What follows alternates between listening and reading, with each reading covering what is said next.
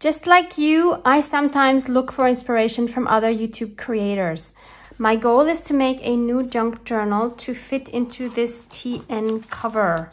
And I stumbled upon a tutorial for a junk mail envelope journal by Natasha from Treasure Books.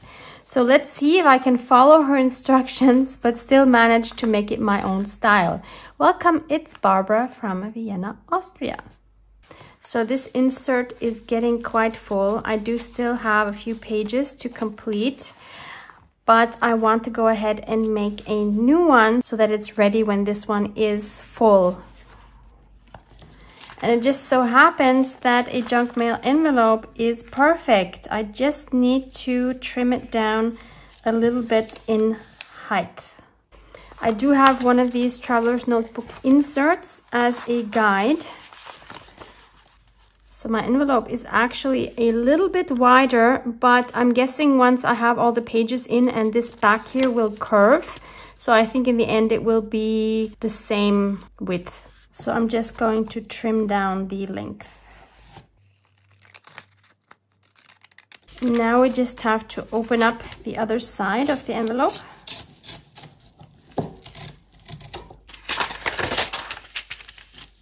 And open it up like. Natasha then added some interest on the front of her envelope by adding some scraps of book pages and some painting and some mark making. I'm going to use my beautiful vintage stamps. You will recognize this box if you've seen my declutter series. I'm so happy to have these in my box and I am actually using these a lot more now that I have them out in the open. I'm going to use black archival ink and I'm just going to do some random stamping here.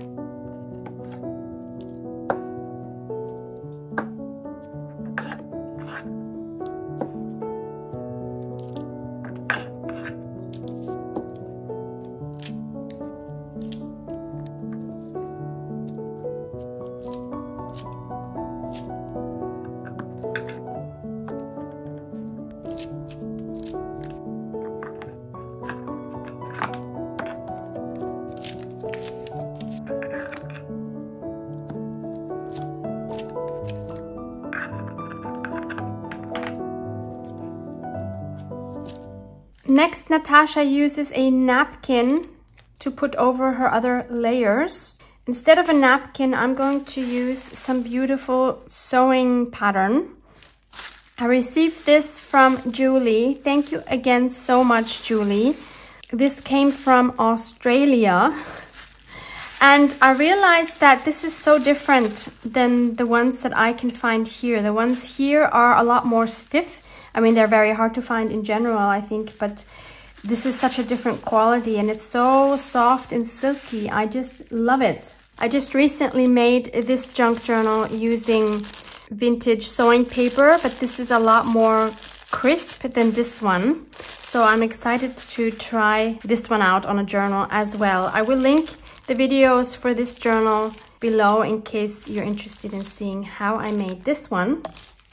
So I cut out a rectangle, which is a little bit bigger than my envelope. And I'm going to use some matte medium to glue it on.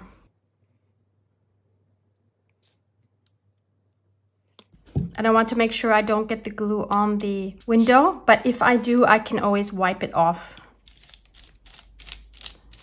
So I'm going to spread this out so if you do stamping like I do, make sure that you have used some archival ink, some permanent ink, otherwise it would smear now at this stage. And I'm going to try to work as fast as I can so that this doesn't dry up in the meantime.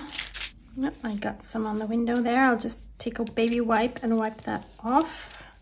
And now my aim is to add this with wrinkles. So I explicitly want this to have a texture and to be wrinkly.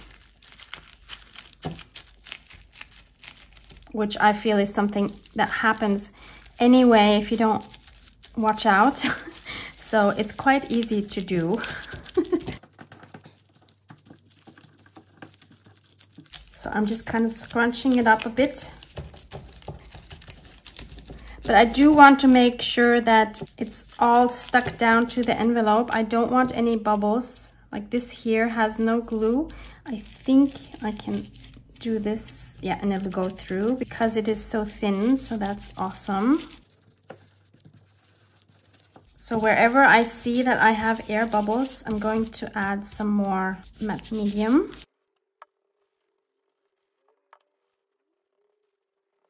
Okay, and now I see that I don't have as much texture yet as I want to have.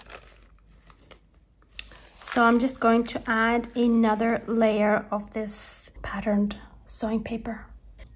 So I'm not even gonna let this dry. I'm just going to add some more matte medium straight over that.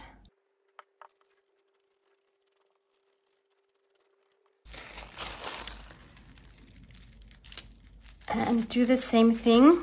Just try to add maybe a little more wrinkles now.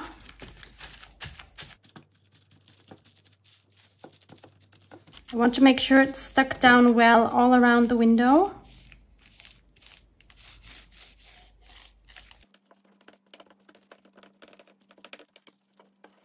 And then I'll add some more on top to make sure that everything is really glued well. No bubbles, no air.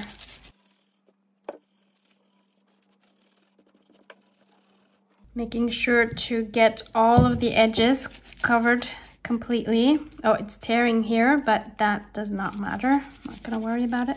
What I can do here with the tear is I can either just leave it as it is, or I can just patch it up with another piece of that paper. So I'll another, add another piece, make sure it's nice and wrinkly, and add some more matte medium on top. That will just add to the nice textured effect that we have. Oh, there's another tear here.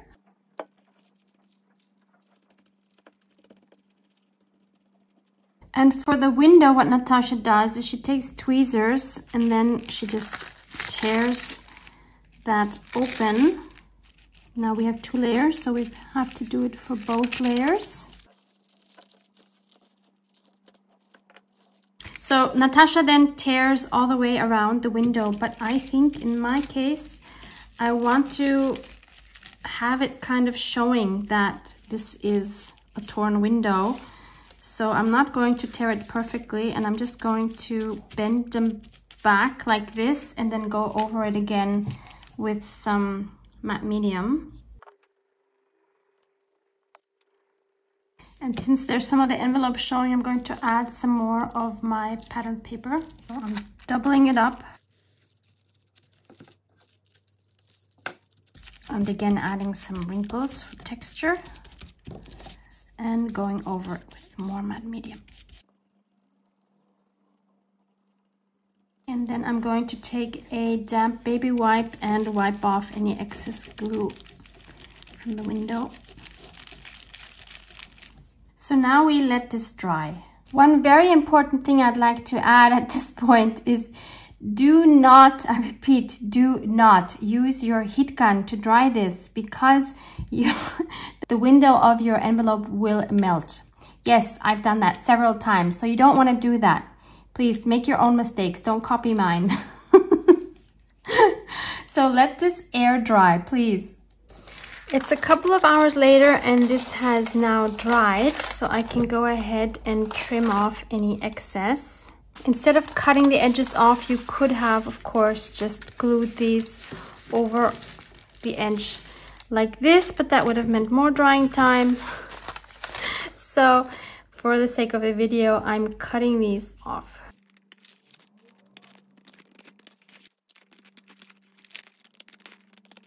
Next, Natasha cuts a slit in the window so that becomes a pocket. I'll have to do mine a little bit differently because of the way I made the edge. So I'm going to make the cut on top of the actual window up here, but making sure that I'm still on the part where the plastic is covered. So I'm going to take my handy chocolate box so I don't cut into my table and I will try to cut a slit. Actually, I'm going to take a ruler because I know I can't cut straight.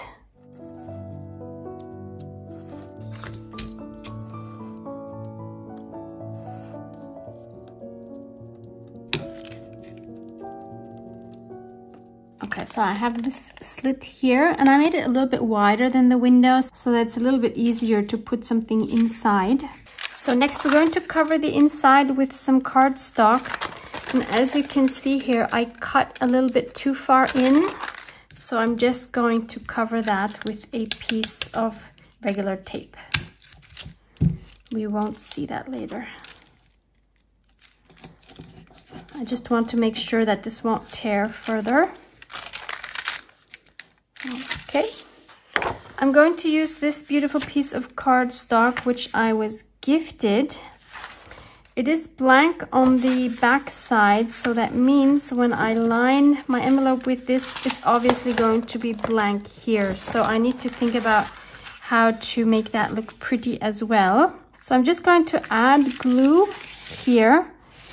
Obviously not here where the window is. So I'll just make a border until where I will add my glue. And this will determine the width of my pocket.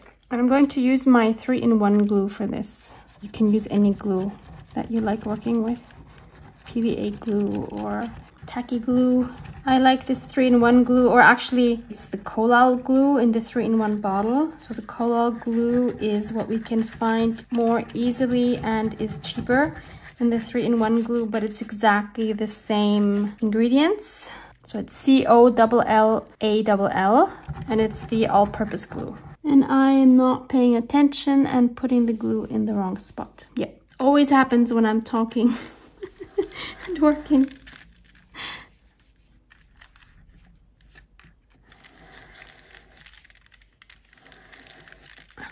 Oh, I can't glue it on yet. Editing Barbara here. So I noticed while editing that I'm missing a whole chunk of this video. My apologies. So what happened was that I realized obviously that I don't want the white background behind that pocket. So I just cut off a piece of that same cardstock and glued it first where the window is and then on top of that, I glued the front side of the cover.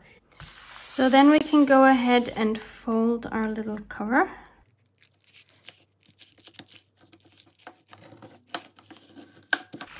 Then I'm going to ink up the edges front and back with walnut stain. I also want to add some Distress Oxide around this frame and my little slit here. And then I'm going to take this to my sewing machine and sew around the whole cover once or maybe twice.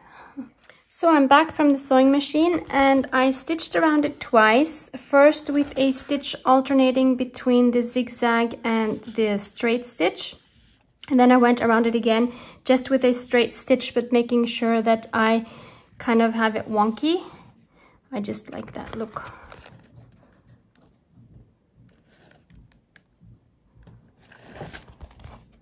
And on the inside we have this. And I'm sorry if you can hear weird noises. We're just having a thunderstorm here right now. so now the inside looks a bit plain. So I want to add some more grunginess to this. I'm going to use the technique that I learned from Louise, which is to use your Distress Oxide re-inker. They are just more intensive than if you use the ink pad. And I'm using gloves because these things really stain your hands. and I'm going to mix, or maybe I should say what I'm using. I'm using Vintage Photo, which will give me this beautiful rust color and I'm pairing it with tea dye. These are actually the only re-inkers that I own.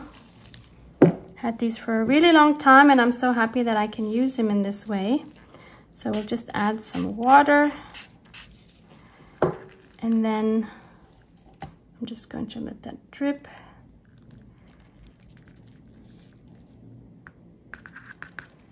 And then I'll add some water here as well. And we'll just make this whole thing more grungy.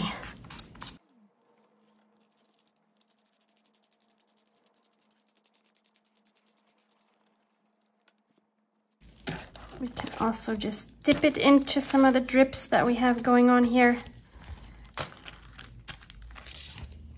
Yeah, look at this. I think it's going to look a lot different when it's dry. And since I have all this yumminess here, I'm just going to dip the front in it as well. Look at the mess.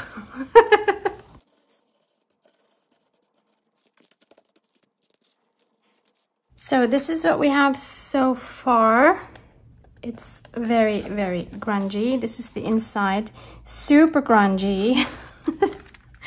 And now, of course, what happened is this sticks out like a sore thumb. And by the way, again, do not dry with your heat gun. I almost did that. but thankfully I remembered. So what I should have done, of course, is before I glued that extra piece onto the inside, I should have grunged up as well to fit the outside, but I didn't. So I just grunged up another piece that I had left over and I'm going to do my best to insert that here. Let's just see if it fits actually. Yeah, that will work. So again, please don't copy my mistakes. Make your own. Think of new ones. Challenge yourself to think of new mistakes you can make. and the thunderstorm has stopped, by the way, thankfully. Let's hope I can just slide that in. Yes! Yay! Okay, now it actually all fits together. And can you guess what I'm going to do next? if you know me, then you know since I wanted to have some wrinkles, I obviously want to highlight those wrinkles and my favorite way of doing that currently is by using some gold. So again, I'm going to use my Inka Gold. This is fast drying metal gloss paint by Viva. This one is called Old Gold. And I prefer using this to gilding wax because it dries a lot faster. And if I don't have a window like this, I can actually use my heat gun to dry it off. But actually it dries so quickly that it just takes a few minutes. Whereas the gilding wax, I feel, first of all, I can't use the heat gun because it will just melt the wax. And secondly, it takes longer to dry. So when you're making videos, time is of the essence. So it's easier to use this. So I am gently, maybe I should start in the back. I'm gently going to rub this especially over where my creases are to highlight those.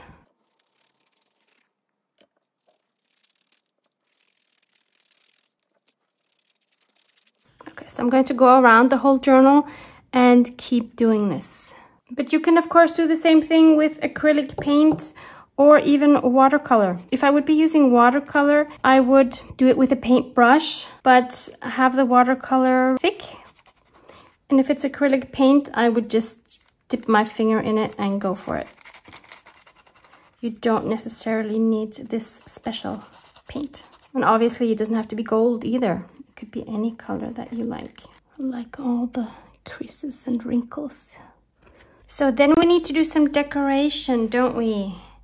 I have a little basket here with some die cuts, mostly die cuts, and I'd like to use something from here on the cover. I don't want to make anything new, I want to use what I have. Most of these are made out of wallpaper. I don't really want this color, but I could turn it around and use the white side. I like that. Maybe there's something else. That's a bit much, maybe too many solid elements, I think. I think I want something a little bit more delicate. Oh, this would be cute. What if we add this and this? Maybe we cut this a little bit short. Now that's adorable. I really like that, so let's keep that as an option. I also have these. These are kind of off-white If I match these with pure white, actually that would also be okay. Doesn't matter. Again, I would cut this short. Oh, I like that. Maybe even more. That's like bam. Do I want bam?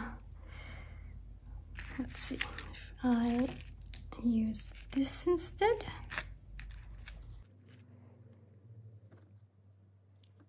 Ooh, that eye even fits better to the grungy style, wouldn't you say? I like it. But we could do some more, whoops, some more floral things on the back side.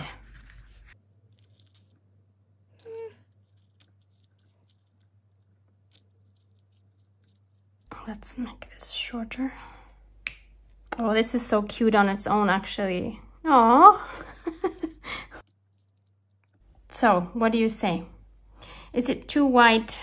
I just decided this stark white is too much of a contrast, so I'm going to try to tone it down a bit with some buff titanium acrylic paint.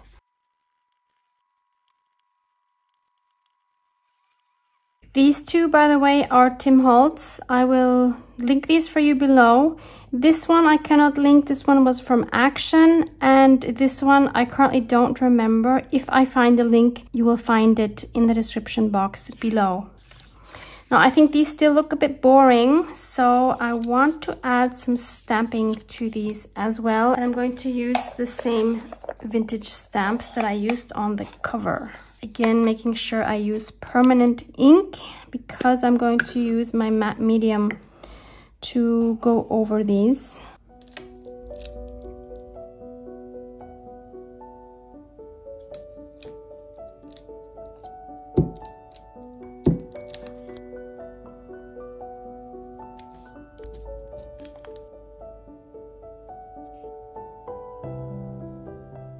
Time to glue them on.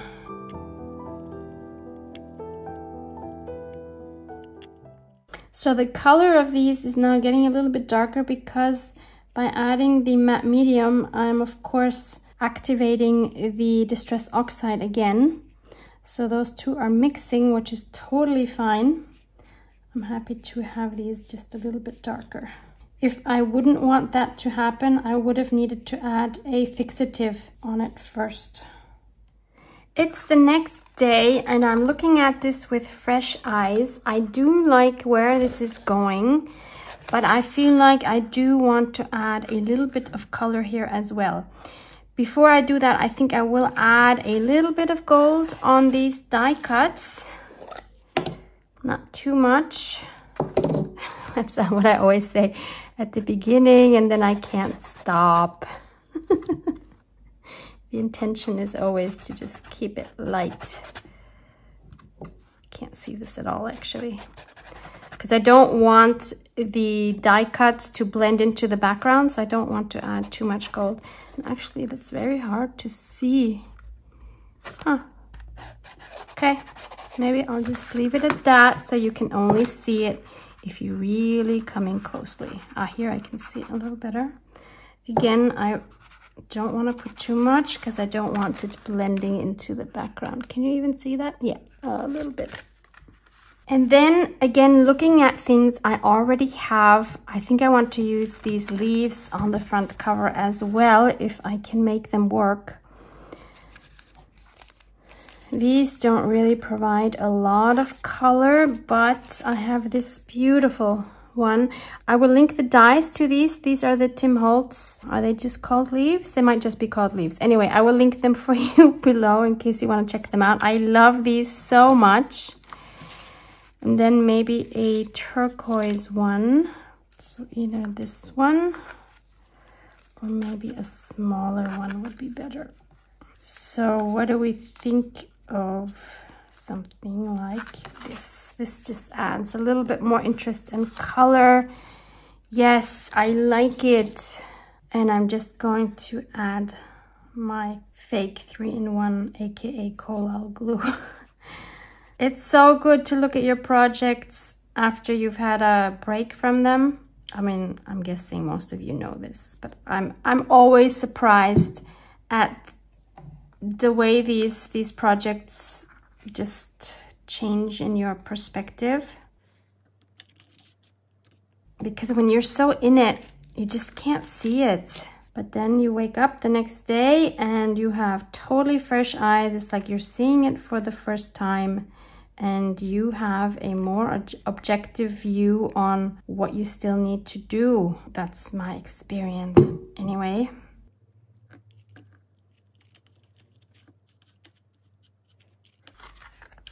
There we go.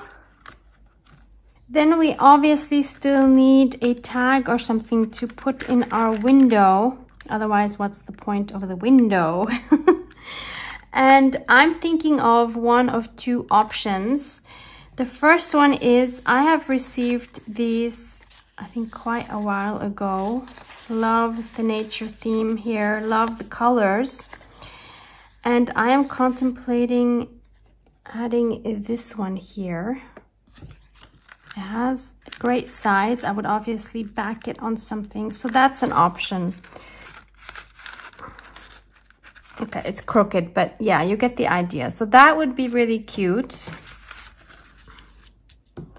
The other option I see is using my smallest tree stamp. Also has the perfect size. And if I do this one, then I'm thinking that I should stamp that on part of that sewing paper to stay with the theme. And then maybe I could stamp that in like a turquoisey green, similar to these colors. So that would add another pop of color and I could maybe even stamp some of the numbers that I stamped on the cover on the background. I'm, I'm very curious to see what that would look like. So I'll start by stamping some of these for the background.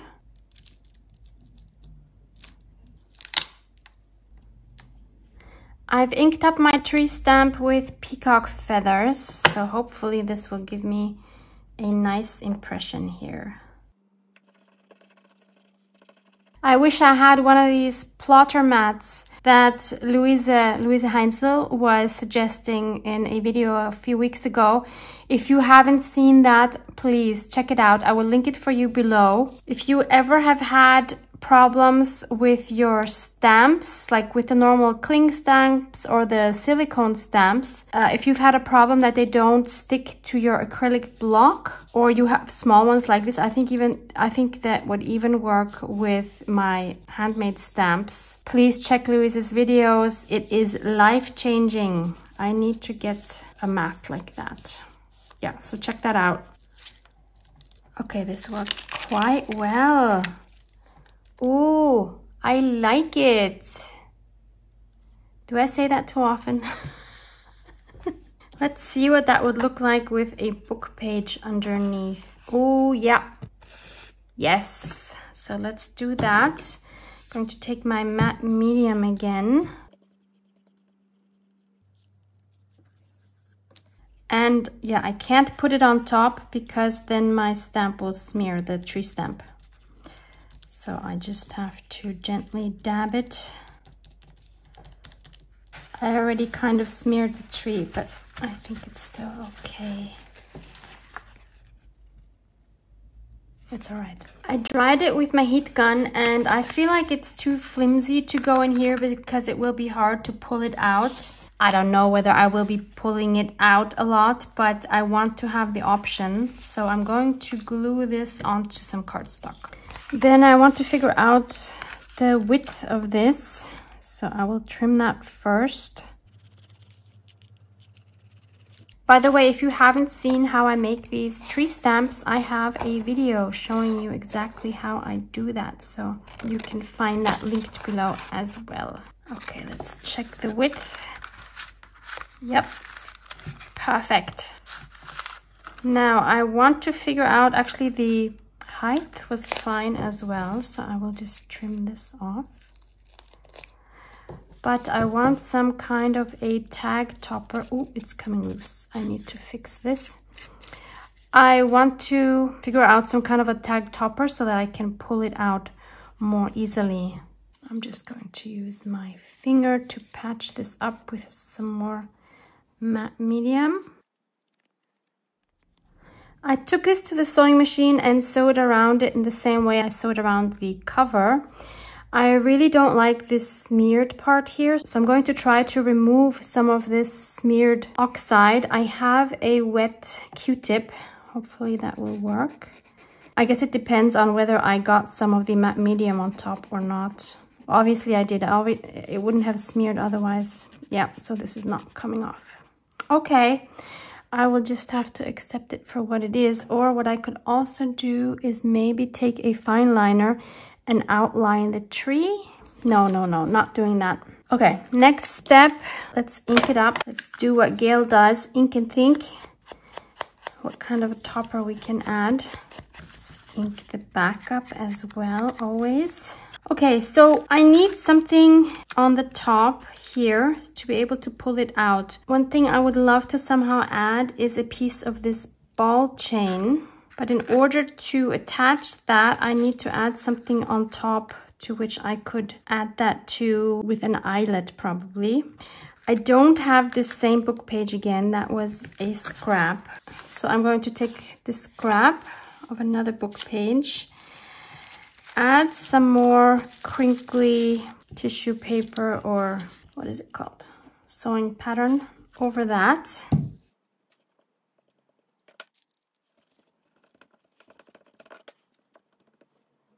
Once that has dried, I'm going to cut a rectangle. Then I'll fold it in half. And I'm going to take my envelope punch board and make a tab. So there's one notch. And now I just want to see how wide do I want to have this. Yeah, so I want this at the end. And now I just cut this off. And I'll cut this down a little bit as well. And there's my tab. And I can add that up here. It's not the prettiest tab. and then I should probably stitch on top of that again. And actually what I should do first is ink that up. Okay, so I managed a wonky stitch so that now looks like it was always meant to be there. So now I just have to make a hole in the middle and add an eyelet.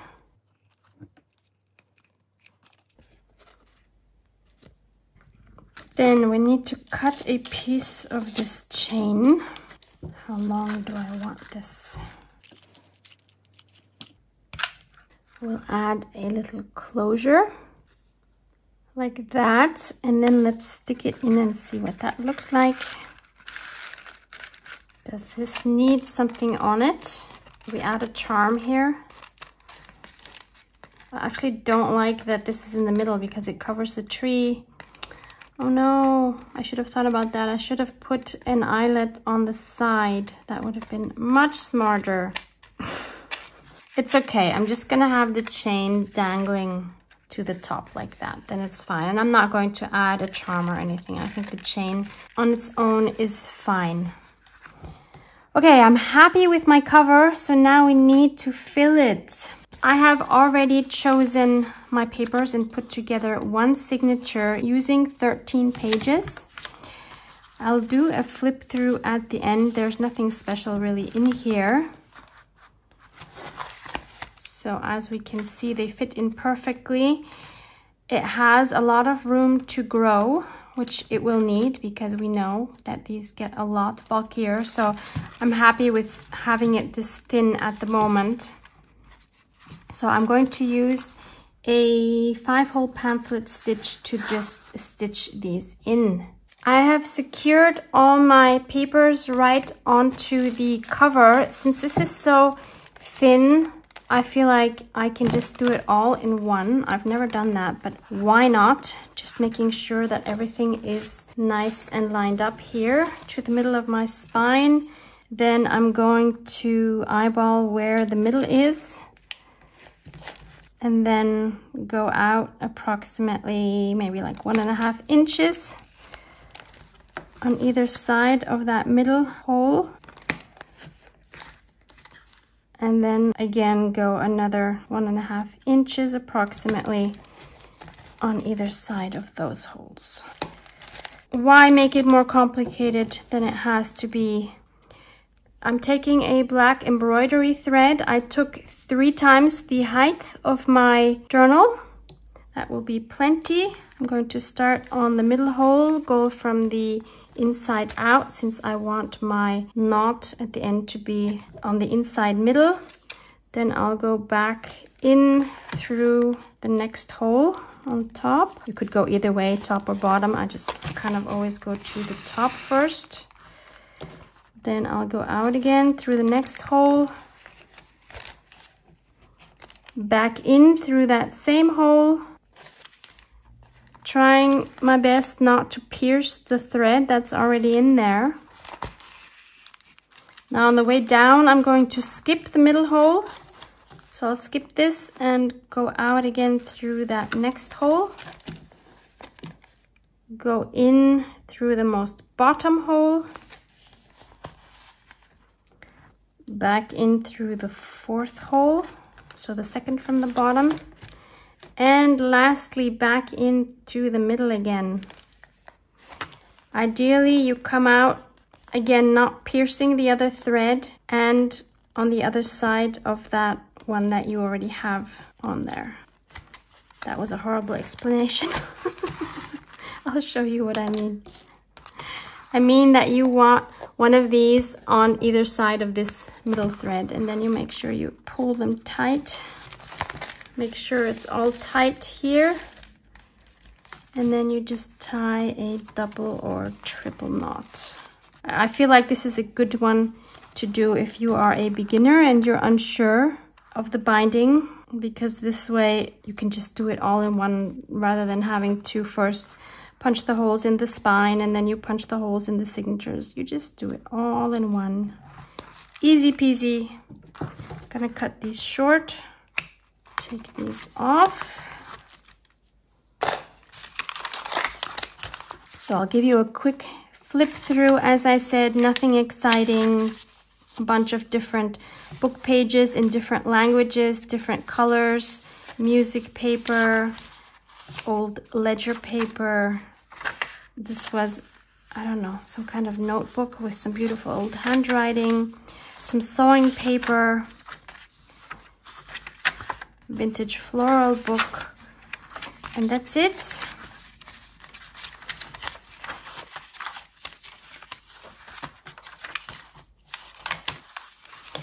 If I would not be putting this in here, I would want to have a closure I don't need it since I have it in here anyway. But what I might do when this is full is to make a closure. And the way I would do that is to add a hole here, then put a nice button here, sew that on. Actually, I don't even need the hole. Forget the hole. I would just I would just sew the button on here and then I would take a ribbon, tie it around the button and this just wrap it around and wrap it around the button. I hope you know what I mean. Very simple closure and I think that would look really cute. But for me, this is good. This is exactly what I needed to fit in here. And I'm ready to go once this one is completely filled up. Yay! Love you guys. Mwah, mwah.